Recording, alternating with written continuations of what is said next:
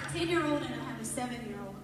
And I'm with them all the time. We traveled all my life for about 30 years, till about eight years ago. And I had the girls, and, and we just started doing something different. It's like the Father had us learn some other lessons off the road. But I'm so grateful for that experience, and that's the way that I grew up. And I love these people, they're my family. They've known me ever since I was very, very small. So this morning, my kids are not used to me not being there. And I, I homeschool them, so like we're really kind of probably codependent a little bit. And uh, So are, so are we. We're okay. so I was talking to my 10 year old this morning. I was about to get off the phone, and I said, Kennedy, your name is Kennedy. I said, Baby, I love you.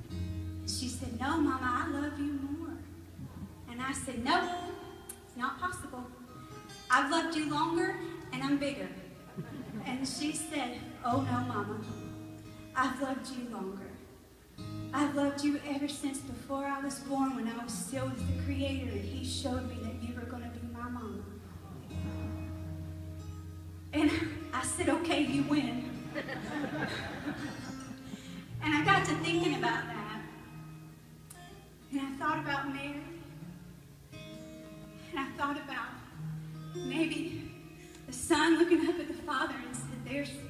There's mama. She was so good to him. She bore him. And us mothers, we know what that means. She loved him. And I bet she sang a song a little bit like